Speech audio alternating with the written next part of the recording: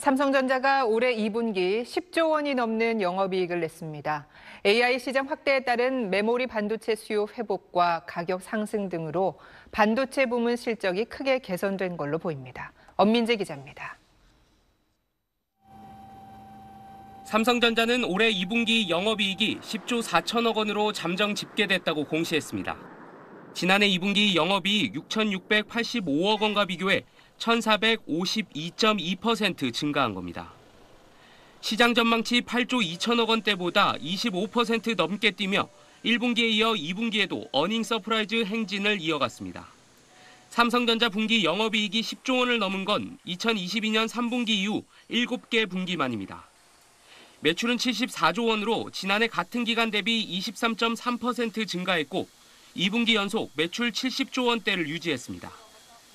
잠정 실적인 만큼 부문별 실적은 공개되지 않았지만 D램과 낸드의 평균 판매 단가 상승으로 메모리 반도체 실적이 크게 개선됐을 것으로 증권업계는 추정했습니다.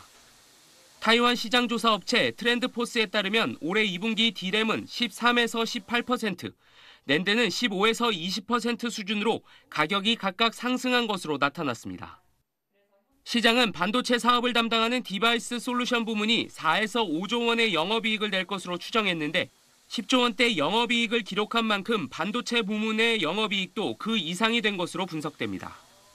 DS 부문은 업황 부진으로 지난해 연간 약 15조 원의 적자를 기록했지만 올해 1분기부터 흑자 전환한 뒤 실적 개선 흐름을 이어가고 있습니다. 하반기에도 삼성전자의 실적 개선세는 가속화할 것으로 보입니다. 주요 메모리 반도체 업체들이 고대역폭 메모리, HBM 생산을 늘리면서 D램 공급 부족 현상이 심화할 가능성이 크고 삼성전자로선 엔비디아의 HBM 품질 테스트 통과도 앞둔 상황입니다. 3분기 영업이익은 지난해 같은 기간보다 400% 가까이 급증한 12조 원, 매출은 20% 이상 증가한 82조 원대로 증권업계는 추정하고 있습니다. SBS 엄민재입니다.